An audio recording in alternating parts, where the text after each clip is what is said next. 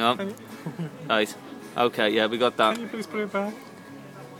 Uh, thank you. So it's about halfway down. Now, for me to find the card you picked out, okay, I know it's not the Jack of Diamonds, it's the wrong card. So it's uh, the Jack, it's four pieces.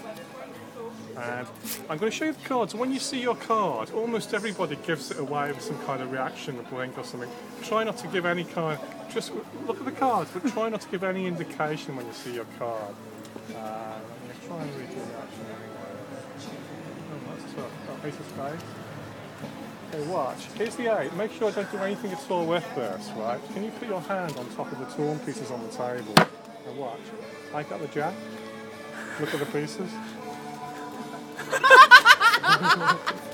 Uh, can you please just hold?